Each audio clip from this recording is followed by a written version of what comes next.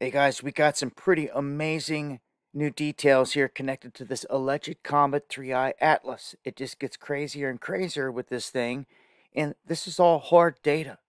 The astronomers over there at spaceweather.com saying that they used a blue filter, and when you do this on something that is rich in CO2, it will bring out a blue hue, and if there's a tail there, they can find it. They've done this before on past comets. So they've done that. And as you can see, they have discovered there's a tail. But there's one huge characteristic about this that is completely abnormal it's pointing toward the sun. This is not what comets do. They go on to explain that that this is one of the oddest things they've ever seen. And you can see it down here in the right hand corner and up in the top center. Now, comets or objects that have a lot of carbon dioxide have blue tails because of the photochemistry. The solar radiation breaks the CO2 into CO, which emits blue light. Is this what's happening with Atlas? Well, the jury's still out.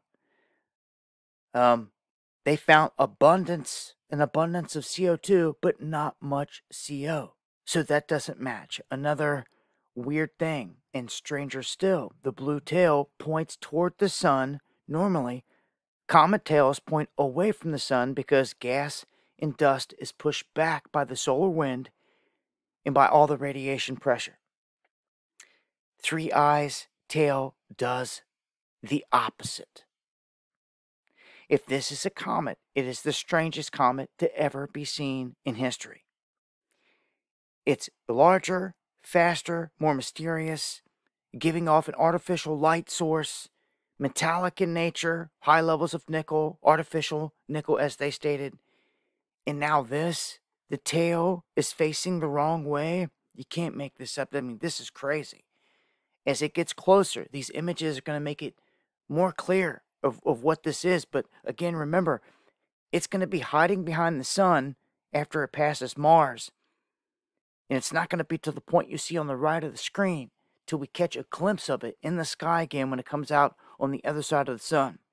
Now, with Venus crossing behind the sun, this can also create some crazy effect in the sky in the coming months. A conjunction, if you will, in the heavens that create a brightened sun or a crazy effect in the sky.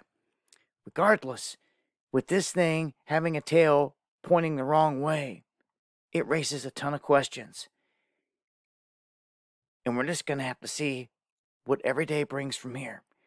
But this is the latest. Pretty shocking that the tail is facing the opposite direction. I'll leave links. Join me for the live streams going live Monday, Wednesday, and Friday, 9 p.m. Eastern, talking about this and a whole lot more in greater detail. Eyes to the skies, y'all.